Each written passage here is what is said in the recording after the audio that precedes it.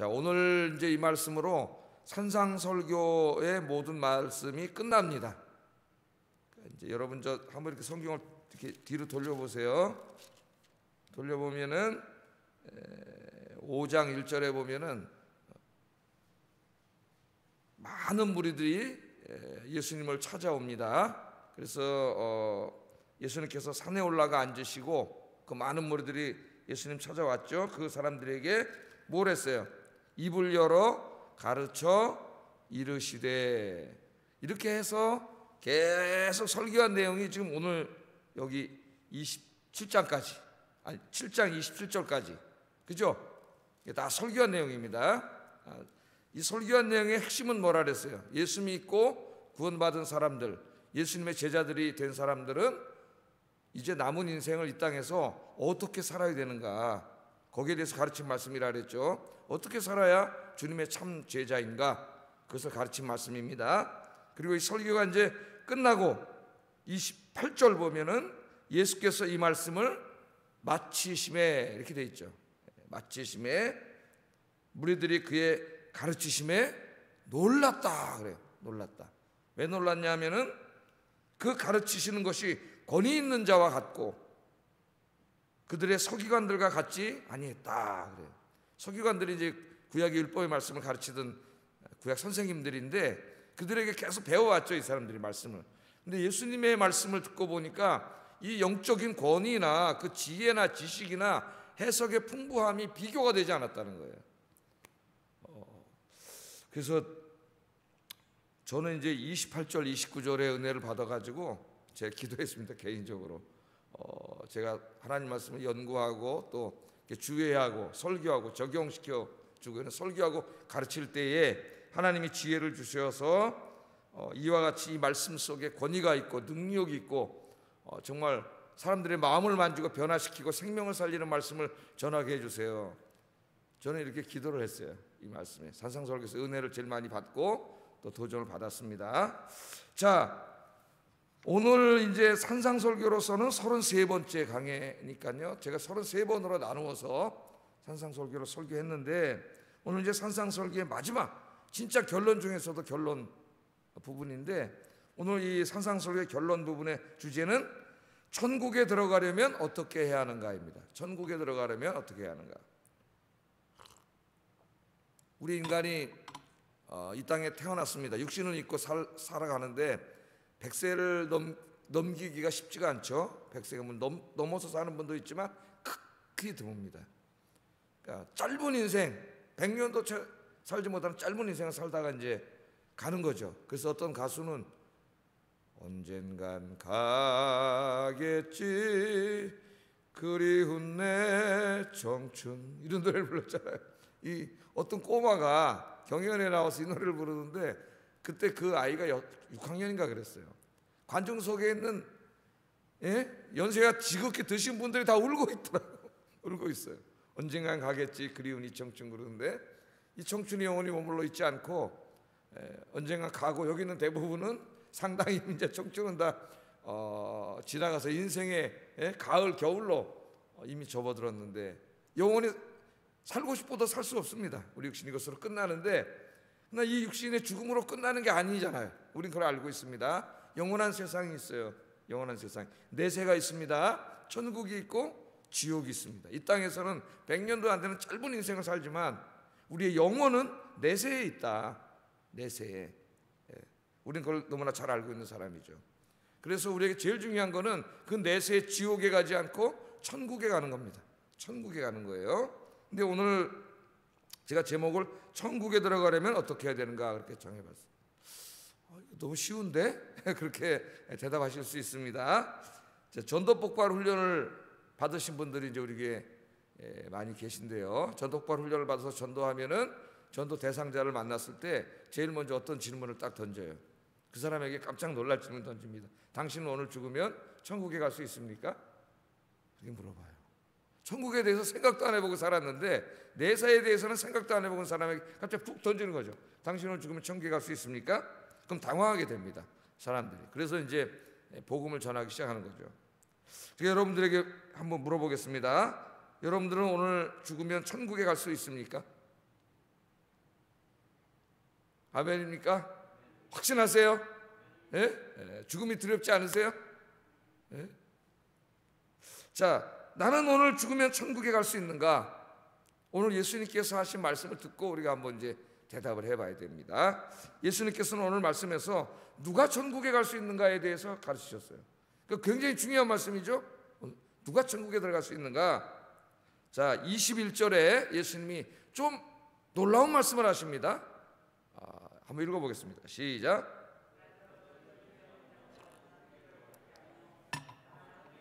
내 아버지의 뜻대로 행하는 자라야 들어가리라. 자, 예수님 뭐라고 말씀하시냐면은 나더러 주여 주여 하는 자가 다 천국에 들어가는 것은 아니다 이런 말씀을 하세요. 상당히 놀라운 말씀이죠. 여기에 예수님을 주여 주여 주님 주님이라고 부른다는 건 어떤 의미예요? 그 사람이 예수님이 하나님의 아들 구원자임을 믿고 그 입으로 그 나사렛 예수가 나, 나사렛에서 마리아의 아들로 태어나 자란 그 인간 예수가 인간이 아니라 바로 주님이십니다.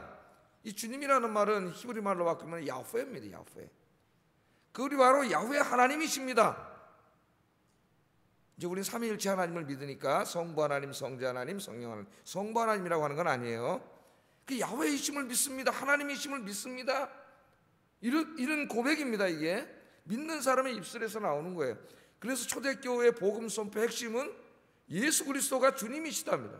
예수 그리스도가 하나의 어떤 훌륭한 인간이 아니라 예? 우리가 본받아야 될 훌륭한 인간만이 아니라 그분은 하나님이시고 우리 인간을 구원하기 위해 인간으로 오신 바로 야훼이십니다. 주님이십니다. 그 말이거든요.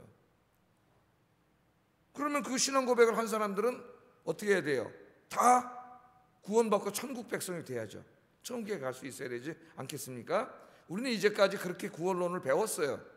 예? 어디에서? 로마서, 갈라디아서를 통해서 그렇게 우리는 공부했습니다. 예수님을 내 마음으로 믿고 내 입술로 예수님을 주님이라고 고백하면 구원을 얻으리라. 그렇게 배웠어요. 자, 한번 로마서 10장 9절 10절 읽어 보겠습니다. 시작.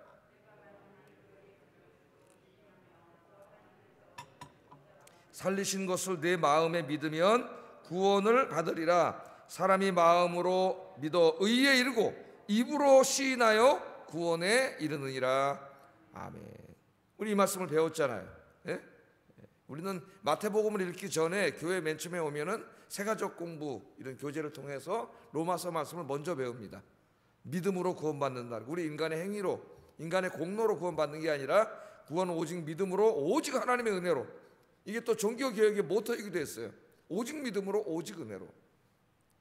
자, 이 로마서 10장 9절 10절에 분명히 이렇게 가르치셨잖아요. 그죠? 마음으로 믿어 의에 이르고 입으로 시인하여 구원에 이른다. 자, 우리는 이 말씀을 너무나 잘 알고 있기 때문에 오늘 우리가 읽은 산상설교는 어렵습니다. 이 의미가 어려운 게 아니에요. 의미는 너무 쉽죠. 에? 예? 의미는 간단해요. 뭐 의미는 뭐예요? 나더러 주여 주여 하는 자마다 천국에 들어가는 게 아니라 내 아버지의 뜻대로 행하는 자가 천국에 들어간다. 그거 뭐 이해가 안 됩니까? 의미는 금방 쑥 들어오죠. 그런데 뭐가 어려워요? 우리가 알고 있는 구원론과 뭔가 좀 이렇게 충돌되는 것 같은 예? 그래서 좀 받아들이기가 이거 어떻게 받아들여야 되지? 하는 이 의미에서 어렵다는 거예요. 어, 이 말씀이 그래서 많은 해석가들이 막 이런 저런 어떻게 좀 막 로마서와 맞춰서 해석을 해보려고 상당히 그 어, 애쓰는 모습들이 보입니다. 이런 저런 글들 속에 보면은 어, 자 오늘 예수님께서 어떻게 보면 로마서의 말씀과 좀 상충되는 듯한 말씀을 하시는 거죠. 주여 주여 하는 자가 다 구원을 받는 건 아니야. 예? 로마서는 구원을 받는다 그랬는데 다 구원을 받는 게 아니다. 어? 하나님의 뜻대로 행하는 사람이 구원을 받는다. 그렇게 말씀을 합니다. 근데 여기 이제 오늘 오늘 여기는 구원을 받는다는 말보다는 똑같은 말이지만 천국에 들어가느냐 못 들어가느냐 이 말씀으로 이야기를 했어요. 천국에 들어가지 못한다. 여기 천국에 들어간다 할 때 그 동사의 시제가 미래형으로 되어 있어요. 미래형으로. 그러니까 종말론적인 천국을 말하는 겁니다. 종말론적인 하나님 나라. 우리가 죽어서 가서 영원히 하나님 함께 살 그 하나님의 나라예요. 그러니까 천국에 들어가지 못하면 지옥에 가는 거죠. 근데 오늘 우리 예수님은 하나님의 뜻대로 행하지 않는 사람은 하나님 나라에 들어가지 못한다. 이렇게 말씀을 하셨기 때문에 오늘 이 말씀이 상당히 혼란스럽습니다. 이 말씀을 우리가 딱 그대로 읽고 어, 받아들이면 혼란스러워요. 제일 처음에 여러분 내가 어, 교회 왔어요. 그래서 성경시를 읽는다고 한번 생각해 보십시오. 로마서를 읽었습니다. 아 구원은 오직 믿음으로 받는구나. 그리고 이제 그 다음에 그 사람이 마태복음을 읽었다 생각해 보세요. 그럼 오늘 산상설교 읽다가 깜짝 놀라. 산상설교 5장부터 7장까지 읽으면은 헷갈리게 돼요 이 사람이 아마 어, 성경을 제대로 읽는 사람이라면 가지고 찾아올 거예요 목사님. 이게 어떻게 이해를 해야 되는가 찾아올 거예요. 구원은 믿음으로 받는 겁니까 아니면 행함으로 받는 겁니까? 이런 질문이 우리에게 당연히 나옵니다. 제가 옛날에는 그 학교 다닐 때 이 산상설교 이 마태복음 이 부분을 어, 필수 과목은 아니고 선택 과목이었는데 지금은 이제 이 교수님 돌아가셨어요. 박 저기 정운택 교수님이라고 암, 암으로 일찍 돌아가셨어요. 참 안타까운데 저에게는 이제 개인적으로 고등학교, 대학교, 대학원 다 선배님 어, 친하게 지내던 교수님인데 참 안타깝더라고요. 자, 근데 이제 이분하고 이 산상설교를 어, 공부하면서 그 논문을 하나 써서 내야 되는 게 이제 그 학기 말이었기 때문에 바로 이 주제 구원은 믿음으로 받는가 아니 행위로 받는가를 산상설교에서 이제 제가 페이퍼로 낸 적이 있습니다. 자, 여러분 구원은 믿음으로 받아요, 행위로 받아요. 예?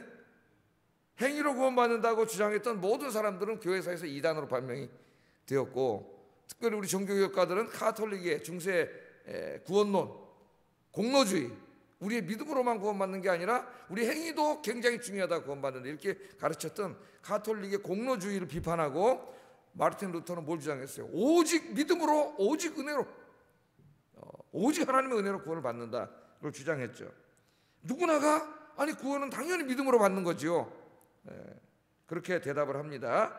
자 오늘 왜 이렇게 마, 마태복음과 로마서가 어떻게 보면 좀 이렇게 상충되는 듯한 어, 말씀을 하시는가? 우리가 성경을 진지하게 한번 읽 어봐야 돼요.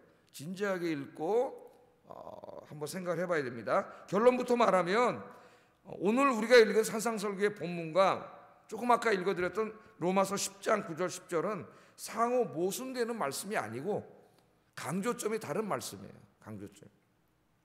자, 바울은 로마서에서 믿음과 은혜의 구원을 부정하고 율법을 행함으로 인간의 공로로 구원받는다고 주장한 유대인들을 향하여 구원은 오직 믿음으로 오직 하나님의 은혜로 받는 거다. 이걸 강조한 겁니다. 그러니까 종교교육 때도 똑같은 일이 벌어진 거죠. 어, 이 종교 개혁가들이 카톨릭을 향하여 오늘 본문에서 예수님은 예수님을 믿는다고 입술로 고백하고 있으면서 예수님을 믿고 입으로는 예수님을 주님이라고 하면서 하나님의 뜻대로 행하고 사는 데는 관심이 없는 사람들, 이 사람들을 향하여 참 믿음이 무엇인가를 강조한 말씀이에요. 그러니까 예수님이 행위로 구원받는다는 것을 말씀하신 게 아니고 구원은 믿음으로 받고 입술로 예수님 주님이라고 고백함으로 받지만 그렇게 어떤 사람이 입술로는 주님 주님 그러면서 믿는다고 하면서 가만히 삶을 보니까 전혀 하나님의 뜻대로 살고자 하는 그런 모습이 보이지가 않아요. 그럴 때 그 믿음은 진짜 믿음이 아니라는 겁니다. 진짜 믿음이 아니라는 거예요. 행위로 구원받는다는 얘기가 아니라 오늘 예수님의 가르침은 아, 바로 그런 어, 가르침입니다. 특별히 마태가 사역하던 교회에 그런 사람들이 많이 있었던 것 같아요. 오늘날 우리 현대교회도 굉장히 많죠. 이런 분들이. 그래서 마태는 그런 사람들을 향하여 오늘 예수님의 이 산상설교의 말씀을 굉장히 강조해서 어, 가르치고 있습니다. 참 믿음과 거짓 믿음이 있어요. 참 믿음과 거짓 믿음을 구별하는 기준은 뭐냐? 입술로 주님 주님 하는 게 아니라 거짓 믿음도 주님 주님 해. 그 기준은 그 사람이 하나님의 뜻대로 행하는가 안 행하는가 이거라는 거예요. 믿음으로 구원받는 게 진리죠. 오직 구원은 믿음으로 은혜로 구원받아요. 그러나 저 사람이 정말 마음으로 자기가 믿고 입술로 예수님을 주님이라고 고백한 사람이라면 그 사람의 삶 속에는 뭐가 있어야 돼요? 하나님의 뜻대로 행하고자 하는 그런 의지와 열망과 삶의 모습이 있어야 되는 거죠.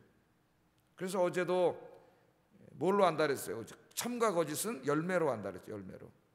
가시나무와 포도나무는 열매가 열리기 전에는 농부가 아닌 사람 잘 구별하기 어렵지만은 결국 때가 되면은 확연하게 차이가 나죠. 가시나무에는 아무리 기다려도 열리지 않아요 포도나무가. 그러나 포도나무에는 포도 열매가 열리죠. 이게 진짜 아니에요, 진짜, 진짜 그리스도인. 예. 그러니까 이 가짜가 많기 때문에 입술로는 주님 주님 하지만 그 사람의 삶을 들여다보면 진짜 예수님을 주님으로 고백하는 삶이 없기 때문에 그런 믿음은 가짜 믿음이다라고 하는 것을 예수님이 이야기하시는 겁니다. 오늘 이 말씀 속에서 자 이것은 한두 번의 행동을 말하는 게 아니에요. 한두 번의 행동을 말한다면 우리 다 가짜 그리스도입니다 그잖아요. 예? 어떤 한 번 하나님 뜻대로 행하지 않았고 여기서 이제 하나님의 뜻은 산상설계 문맥 속에서 보면은 산상설계 말씀대로 산 거예요. 산상설계 그 높은 예? 도덕적 윤리적 그 기준 거기에 따라서 사는 삶이 있느냐 없느냐입니다. 이게 만약에 어떤 한 번 두 번의 행위를 말한다면은 한 번 두 번 그런 죄를 안진 사람이 어디 있어요? 서너 번 더 졌죠. 우리는 다 죄인이고 이 기준에 합당하지 못하기 때문에 우리의 믿음은 가짜인 거고 그리고 하나님 나라를 가지 못하는 겁니다. 우리가 한 번 두 번의 어떤 행동을 말하는 게 아니라 이것은 지속적이고 습관화된 모습을 보여주는 거예요. 그걸 알아야 됩니다. 바울 서신에도 술 취한 자, 남을 시기하는 자, 미워하는 자, 욕하는 자는 천 개까지 못한다 그랬어요. 그러면 술 한 번 안 먹어본 사람이 어디 있고 욕 한 번 안 해본 사람이 어디 있습니까? 다 지옥 간다는 말인가요? 그럼 구원받는 사람이 없어요.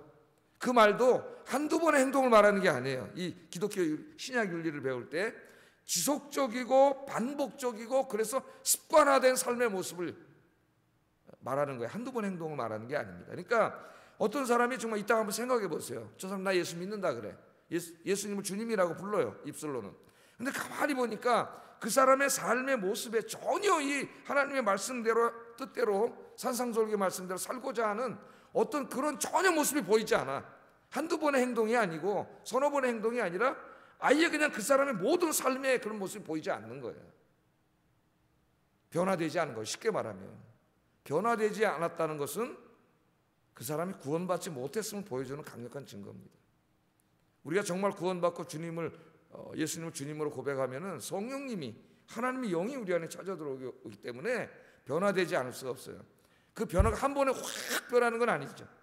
우리 죄성이 있기 때문에 그러나 조금씩 조금씩이라도 변화되고 그게 1년이 되고 이제 예수 믿은 지 2년이 되고 3년이 되면은 점점 점점 변화돼야 되죠. 주님을 닮은 모습으로 어, 변화가 없다는 것은 그 믿음이 진짜인지 아닌지를 한번 우리가 점검을 해봐야 된다는 거예요. 자, 그러니까 이제 이 구원론을 정리하면 이런 거죠. 구원받아 천국에 들어가려면 천국에 들어가는 것은 오직 믿음으로 오직 은혜로입니다. 우리 인간의 공로로는 하나님의 의를 만족시킬 수 없어요. 우리는 이미 타락한 죄인이에요. 이걸 부정하는 순간 안 되는 거죠. 기독교의 가장 중요한 진리를 부정하는 거예요. 그러나 그 믿음이 참 믿음인가를 보여주는 열매는 그 사람이 하나님의 뜻대로 행하고 있는가 하는 것이라는 겁니다. 그래서 디도서 1장 16절에 한번 읽어보겠습니다. 시작.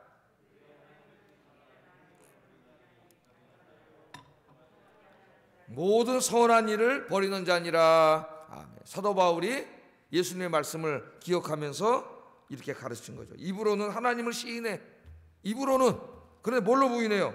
행위로는 부인하는 자가 있다는 거예요. 그러니까 나 예수님 믿어요 나 그렇게 얘기하는데 그 사람의 삶의 모습을 가만히 보면 전혀 그 사람의 삶 속에 예수님의 뜻대로 살려고 하는 모습이 보이지 않는 거죠. 그걸 갖다 뭐라 그래 바울 행위로는 부정하는 거예요. 입술로는 고백하고 행위로는 뭔 전혀 아니야 믿지 않는 거죠. 자기가 믿음이 가짜라는 것을 행위로 보여준다는 말이에요.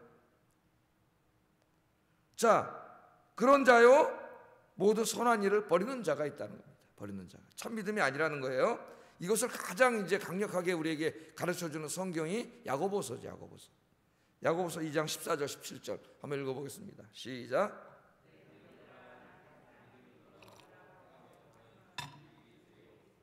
그 믿음이 능히 자기를 구원하겠느냐? 만일 형제나 자매가 헐벗고 일용할 양식이 없는데 너희 중에 누구든지 그에게 이르되 평안히 가라 덥게 하라 배부르게 하라 하며 그 몸에 쓸 것을 주지 아니하면 무슨 유익이 있으리요? 이와 같이 행함이 없는 믿음은 그 자체가 죽은 것이니라. 행함이 없는 믿음은 그 자체가 죽었다니까 믿음이 죽었다는 말은 믿음이 없다는 말이죠. 그 믿음이 가짜라는 말. 가짜라. 야고보서 전체가 이것을 우리에게 크게 강조를 하고 있습니다. 믿음이 있노라 하는데 입으로는 뭐가 없어요? 행함이 없다는 거예요. 삶이 없는 거죠. 그럼 그게 무슨 믿음이냐? 그러면서 이제 하나의 예로 든 게 어려운 형제를 돕는 일을 하나 예로 들었습니다. 에? 어려운 이웃이 있는데 밥도 못 먹고 있으면 내가 먹을 것이라도 좀 나눠서 갖다 줄 줄 알아야지. 배고픈데 아이고 배고프세요. 내가 기도해 드릴게요. 하나 도와주지도 않고 그냥 가버리면은 그 사람의 믿음이 어떻게 참 믿음이라고 할 수가 있겠느냐 그 말이에요. 직접 도와줘야지 가서. 그게 믿음이라는 거예요. 그러므로 행함이 없는 믿음, 하나님의 뜻을 행하지 않고 산상설계 말씀대로 살려고 애쓰고 힘쓰는 삶이 없는 믿음은 믿음이라 할 수 없음. 그것을 가르쳐 주고 있습니다. 진짜 예수님의 제자의 삶에는 어떤 게 있다는 거예요. 먼저 마음으로 예수님을 믿고 그 입술로 예수님을 주님이라고 시인할 뿐만 아니라 이제 하나님의 뜻인 산상설계 말씀 배웠잖아요. 서른 번 정도로 제가 어떻게 살아야 되는가를 가르쳤는데 그 말씀들을 받고 말씀을 계속 묵상하면서 요즘 아침에 이렇게 기도하고 있죠. 오늘도 또 그렇게 기도할 겁니다. 한 100번은 해야 돼. 계속 읽으면서 기도하면서 그 말씀대로 사는 것. 그게 참 믿음이에요. 참 믿음. 성령님이 내 안에 오시기 때문에 이제 산상설교를 모를 때는 몰랐지만 배우고 난 다음에는 정말 한 말씀 한 말씀을 묵상하면서 이 말씀을 실천하기 위해 계속 노력해야 됩니다. 참 믿음이라면 이 말씀을 배운 이상은 이제 그런 어떤 소원도 생기고 열정도 생기고 그리고 완벽하게는 살지 못하겠지만 그 말씀대로 살려고 애쓰고 힘쓰는 모습이 보여야 되는 거죠. 그래야 그 믿음이 진짜 믿음이라는 것을 보여주는 것이라고 예수님은 이야기하고 있습니다. 여러분들이 바로 그런 진짜 주님의 제자가 되기를 주의 이름으로 축복합니다. 진짜입니다. 그래서요 마지막 날 이제 하나님 앞에 가잖아요. 하나님의 법정에 서야 됩니다. 그걸 이제 요한계시록에서는 백보자 하얀 보좌 위에 하나님이 딱 앉아 계셔요. 재판장으로 재판장으로 하나님을 만날 때가 있어요. 그 앞에 가서 우리 한 평생의 재판을 받습니다. 재판 재판을 받는 모습으로 성경은 가르쳐 줘요. 칭의 칭의라는 말이 재판 용어예요. 재판 용어. 판사 앞에 서가지고 한 사람이 여기 서 있습니다. 이 사람을 유죄 판결을 내리면 감옥에 가야 돼. 형벌을 받아야 돼. 무죄 판결을 받으면 자유를 얻는 거예요. 판사가 유죄 그러면 유죄가 되는 거예요. 무죄 그러면 무죄가 되는 거예요. 이게 칭의와 속죄는 바로 하나님을 판사로 이해하는 거라 그랬죠. 판사로서 하나님 공의의 재판하는 거죠. 인간 판사는 공의로 하려고 하는 사람도 있겠지만은 엉망진창이에요. 인간 판사들은 자기 편견과 생각과 인간 판사를 믿을 수가 없어. 예? 재판이 공정하다고 볼 수가 없는 재판이 너무나 많아요. 물론 훌륭한 분도 있습니다.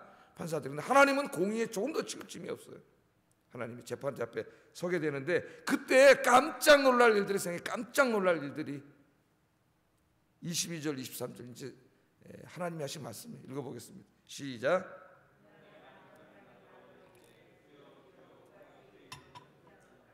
주의 이름으로 귀신을 쫓아내며 주의 이름으로 많은 권능을 행하지 아니하였나이까 하리니 그때 내가 그들에게 밝히 말하되 내가 너희를 도무지 알지 못하니 불법을 행하는 자들아 내게서 떠나가라 이렇게 말씀하셨어요. 자, 그 재판을 받는데 하나님이 판사로서 우리 앞에 서십니다. 근데 우리가 이제 그때 깜짝 놀란다는 거예요. 우리가 딱 보니까 어우 저기 목사님도 와 계시고 저기 어우 저, 저 그때 저 이름 막 유명한 목사님들 쭉 계시고 저 신학자들도 있고 와 저기 막 중직자들인데 막 교회를 위해서 헌신하고 충성을 다하고 막 귀신도 쫓아내고 막 능력을 행하고 이런 분들이 쫙 보이는 거예요. 아이고 저분들은 하나님 앞에 칭찬받겠지. 천국은 뭐 그냥 따놓은 당상이고 칭찬받겠지. 근데 깜짝 놀란 깜짝 놀랄 판결이 이루어집니다. 그들이 주님 앞에 와서 이야기해요. 우리가 주의 이름으로 어? 이름을 전하는 선지자 노릇을 했습니다. 주의 이름으로 귀신을 쫓아냈습니다. 주의 이름으로 권능을 행했습니다. 얘기하니까 우리 예수님 뭐라 그랬어요 오늘 말씀에? 어이구 잘했다 그러지 않고 내가 너희를 도무지 알지 못하는데 그렇게 말씀을 하시네요. 내가 너희를 도무지 알지 못하는. 아니 저 훌륭한 목사님, 저 유명한 목사님이셨는데, 어 저 유명한 신학자였는데, 어 저분 굉장히 열심히 교회 막 일했는데, 근데 우리 예수님 뭐라 내가 너를 도무지 알지 못한다 그래요. 왜 그랬어요? 예? 이 사람이 무슨 선지자 노릇을 했고 귀신을 쫓아냈고 권능을 행했고 봉사를 많이 했고 그래서 내가 너를 알지 못한다 그랬습니까? 그거는 칭찬받을 일이죠. 그런데 그렇음에도 불구하고 난 너를 도무지 알지 못한다 그래요. 이유가 뭡니까? 불법을 행한 자들이기 때문에 그래요. 불법을 행한 자들. 불법을 행했다는 건 뭡니까? 하나님의 뜻대로 살지 않았다는 거예요. 하나님의 뜻대로. 하나님 나라의 법이 있어요. 예수 믿으면 이제 우리 마음대로 살면 안 돼요. 하나님 나라의 법대로 살아야 돼요. 하나님 나라의 법이 뭐예요? 율법이 아니라 예수님이 가르친 말씀이 성경 말씀입니다. 그걸 축약시켜 놓은 게 산상설교예요. 산상설교. 하나님 나라의 백성은 하나님 나라의 법대로 살아야 돼요. 그런데 그 법대로 살지 않았어요. 예? 불법을 행한 자들, 불법을 행한 자들 그렇게 이야기하고 있습니다. 그러므로 우리 신앙생활에서 제일 중요한 게 지금 뭐라는 걸 가르쳐 주고 있습니까? 예? 첫째는 우리 마음으로 믿고 입술로 시인하는 이 우리 신앙 고백이고 두 번째는 하나님의 뜻대로 살려고 하는 이, 이 몸부림. 우리가 100%는 살 수 없다 그랬죠 제가. 우리 죄인이기 때문에 저 자신 역시 그렇게 살지 못합니다. 그러나 정말 안타까운 마음으로 회개하면서 하나님의 뜻대로 그래도 한번 살아보려고 애쓰고 힘쓰는 모습이라 그랬어요. 그것이 신앙생활에서 제일 중요합니다 제일 중요해요. 아무리 목사라도 예?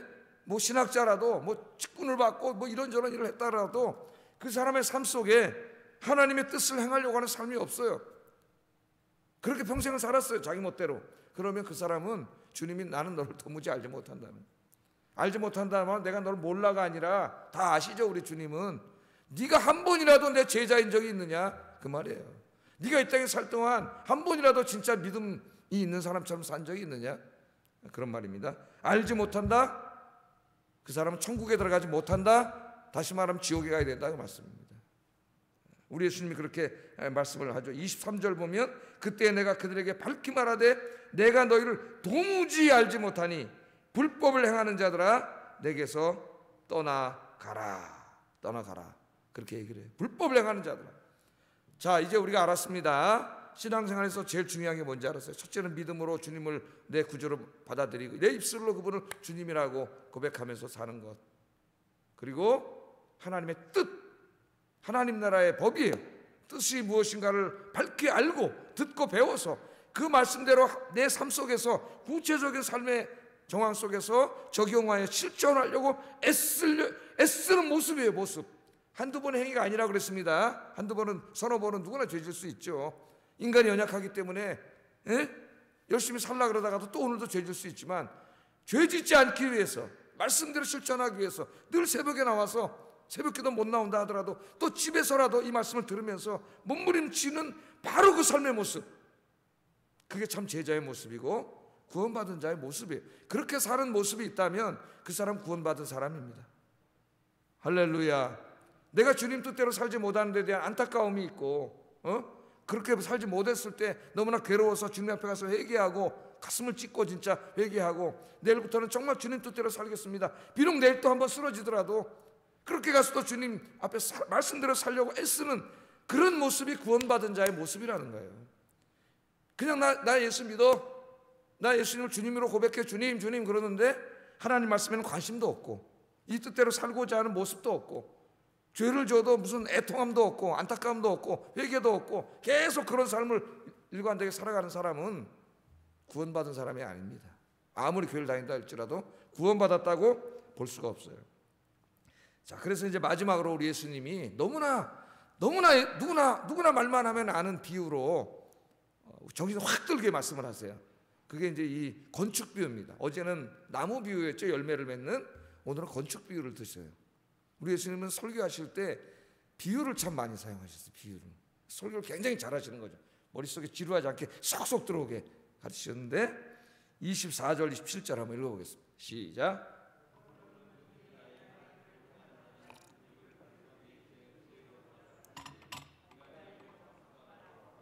그 집에 부딪히되 무너지지 아니하나니 이는 주추를 반석 위에 놓은 까닭이요 나의 이 말을 듣고 행하지 아니하는 자는 그 집을 모래 위에 지은 어리석은 사람 같으리니 비가 내리고 창수가 나고 바람이 불어 그 집에 부딪힘에 무너져 그 무너짐이 심하니라 집을 지을 때 모래 위에 짓는 사람은 어리석은 사람이다. 네? 어리석은 사람. 여러분 집 지을 때 모래 위에다 짓는 사람 있어요 없어요? 그런 바보는 없죠. 모래 위에다가 거기다 아무리 막 대리석 제일 비싼 거 갖다 막 이태리째 뭐 어디가 좋은 모르겠네 대리석이? 러시아가 러시아는 목재가 좋을 것 같고. 그 비싼 목재를 사다 하여튼 강남 어떤 게 가면 아주 자랑하더라고 내가 보니까. 그 사람 이건 뭐 어느 나라에서 가져왔고 어느 나라에서 지금 바깥에서 보기에도 진짜 와 화려한데? 하여튼 뭐 그게 주님 앞에 무슨 소용이 있을지 모르겠습니다 나중에. 자, 막 그런 걸 갖다가 최고급 자재를 갖다가 아무리 싸면 뭐예요? 싸면 쌀수록 어떻게 나중에 무거워져서 무너져 버리죠. 100% 무너지죠. 바람만 불어도 무너지고 비만 와도 모래가 힐껴서 무너지고 거기 파도가 한번 탁 물결이 오면 그냥 다 무너져 버리죠. 모래 위에다 집을 짓는 사람은 없습니다. 누구나 집을 지을 때는 반석 위에다 짓죠. 기초공사, 토목공사를 탁 해야죠. 여기 아파트 짓는데 지하로 7층까지 뚫었어요. 지하로 7층까지. 뭘 거기다 갖다 놓을는지 지난번에 설명 들으니까 뭐도 있고 뭐도 있고 뭐 어쩌는데 하여튼 지하 7장까지 뚫었어요. 우리 교회가 반석 위에 세워진 교회입니다. 이 교회가. 이 밑에가 돌덩어리잖아요. 이게 큰 안반으로 돼 있어가지고 저쪽 아파트 질 때 우리 고생을 많이 했어요. 제가. 저쪽에서 한번 꽝 때리면은 교회가 펑펑 울려요. 금이 좀 갔어요. 몇 군데. 그래서 지금 지난번에 준비원들하고 체크를 해가지고 이제 나중에 변상을 받아야 되는데 쾅쾅 울려요. 그러니까 우리 교회가 이 반석 돌 위에다 지었기 때문에 지하를 파지를 못했다래요. 우리 장로님들 말씀하시는데 뚫을 수가 없어가지고 뭐 지금 같으면 돈 갖다는 팍 뚫었겠죠. 그러면 지하로 한 2층만 더 팠어도 좀 공간이 좀 더 많을 텐데 지하가 하나도 없다 보니까 아, 공간이 좀 부족하죠. 지금은 이제 좀 그렇지만 좀 예를 들어서 좀 아파트 들어오고 부흥하게 되면은 주일학교 교실 예배 드릴 때도 부족해요. 지금 어, 그런 상태에 있습니다. 하여튼 부족한 일이 생기기를 주의 이름으로 축복합니다. 예, 은혜 받아가지고. 누구나 튼튼하게 해서 져야지 그래야 바람이 불어도 안 무너지고 네? 토목이 얼마나 중요합니까 이 기초공사가 비가 오든지 물이 아무리 세게 빵 쳐도 끄떡없는데 그 지혜로운 사람이죠 그럼 이 어리석은 짓은 아무도 하지 않는데 신앙생활에서는 하는 사람이 있어요 어리석게도 하나님의 말씀을 듣고도 행치 않는 자는 모래 위에 집을 짓는 자와 똑같다 그런 어리석은 자라는 거예요 결국 늘 교회는 왔다 갔다 했지만 모래 위에다가 계속 집을 짓기 때문에 결국 하나님 앞에 섰을 때는 다 무너지는 거예요. 아무것도 없는 거예요. 허무한 거죠. 무너진 거예요. 내가 너를 도무지 알지 못하노라. 싹 들어오잖아요. 머릿속에. 이제 말씀을 마치고 예, 우리 함께 기도하겠습니다. 오늘 산상설교에서 우리 예수님이 가르치고자 하는 중요한 말씀 무엇인가? 예? 첫째, 우리는 예수님을 마음으로 믿고 어, 입으로 시인 주님으로 시인하여 구원받은 하나님의 백성이 되어야 된다는 것이고 산상설교에서 특별히 강조하는 것은 그 구원받은 하나님의 백성들은 이 말씀대로 살아야 된다는 거예요. 그것은 100%가 아니라 그래도 그 말씀대로 살아보려고 애쓰고 몸부림치는 그 모습이 진짜 구원받은 자의 모습이고 천국 백성의 모습이라는 겁니다. 우리 기도하겠습니다. 오늘부터 주님 앞에 갈 때까지 나의 신앙이 마음으로 믿고 입으로 시인하고 나의 삶을 통하여 하나님의 뜻을 행하는 진짜 그리스도인, 진짜 주님의 제자, 진짜 천국 백성이 되게 하여 주시옵소서. 기도하겠습니다. 사랑과 은혜가 충만하신 아버지 감사합니다. 오늘 이제 산상설교를 33번에 걸쳐서 강의하고 이 매우 중요한 말씀 너무나 우리에게 절실한 말씀을 깨닫게 하시고 배우게 하시고 듣게 하셔서 하나님 감사합니다. 하나님의 말씀을 듣고 행하지 않는 자는 모래 위에 집을 짓는 것 같은 어리석은 자가 되어서 바람이 불고 비가 오고 큰 풍랑이 몰아치면 다 무너져 버린다고 우리 주님 말씀했습니다. 우리의 신앙의 기초를 반석 위에 세워야 된다. 우리 주님이 그렇게 말씀하셨습니다. 아버지 하나님 오늘 산상설교를 배우면서 우리는 매우 중요한 것을 알게 되었습니다. 첫째는 우리의 마음으로 예수님을 믿고 우리의 입술로 예수님을 주님이라고 고백하는 참된 믿음이 있어야 합니다. 구원은 오직 믿음으로 오직 은혜로 하나님의 전적인 은혜로 이루어지는 것인 것을 믿고 우리와 같은 죄인을 구원해 주신 하나님의 은혜 너무나 감사합니다. 그러나 예수님을 믿고 구원받아 그 입술로 주님 예수님을 주님이라고 고백하는 사람들은 이제는 자기 마음대로 살면 안 됩니다. 하나님 나라의 법칙대로 살아야 됩니다. 하나님 나라의 법대로 살아야 됩니다. 하나님의 뜻대로 살아야 됩니다. 특별히 산상설교의 말씀을 실천하며 살아야 됩니다. 우리가 연약한 인간이고 죄인 된 죄인이라서 이 말씀대로 완전히 살 수는 없다 할지라도 말씀대로 살지 못할 때에 안타까운 마음을 가지고 가슴을 찢으며 하나님 앞에 통해 자복하며 회개하게 하시고 내일부터 또 그 다음 날부터 하나님의 말씀대로 하나님의 뜻대로 행하며 살기 위해 몸부림치며 애쓰고 힘쓰는 주님의 참 제자가 되게 하여 주시옵소서.